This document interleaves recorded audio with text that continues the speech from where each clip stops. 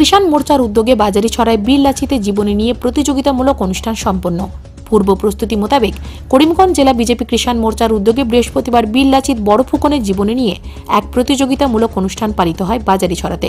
এদিন পাঁচশো তিপ্পান্ন নম্বর বাজারি ছড়া নিম্ন প্রাথমিক বিদ্যালয়ে সকাল দশ ঘটিকায় শুভারম্ভ হয় এই অনুষ্ঠান। অনুষ্ঠানে সূচনা লগ্নে ভারতমাতা পণ্ডিত দীনদয়াল উপাধ্যায় ও শ্যামাপ্রসাদ মুখার্জির প্রতিকৃতিতে মাল্যদান, প্রদীপ প্রজ্বলন ও পুষ্পার্ঘ্য নিবেদন করেন অতিথিরা।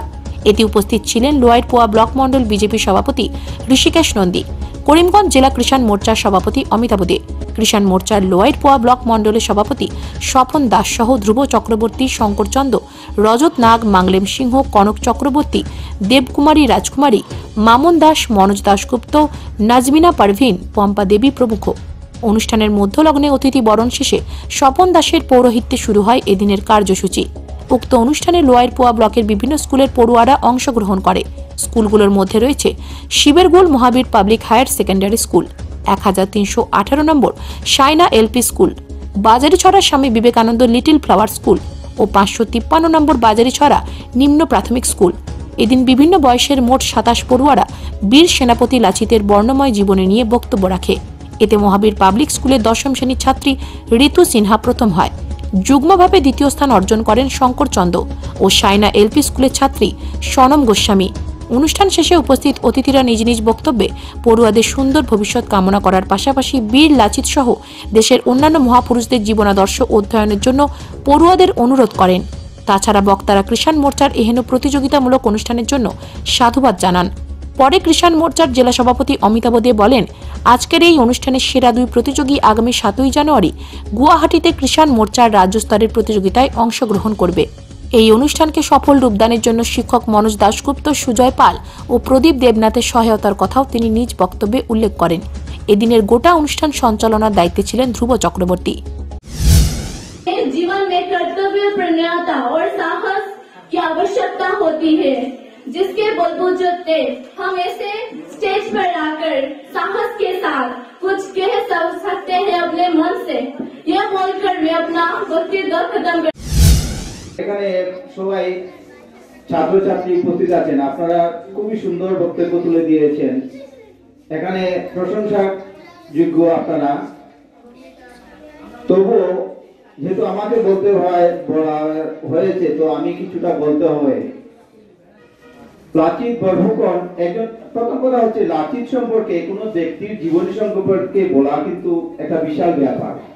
তো একজন ব্যক্তির সম্পূর্ণ জীবনীকে একটা নির্দিষ্ট সময়ের মধ্যে তুলে ধরা একটা কঠিন ব্যাপার। তবুও কিন্তু আমাদের চেষ্টা করতে হয়, যতদূর সম্ভব এই সংক্ষিপ্ত সময়ের মধ্যে উনাকে আমরা উপস্থাপন করব।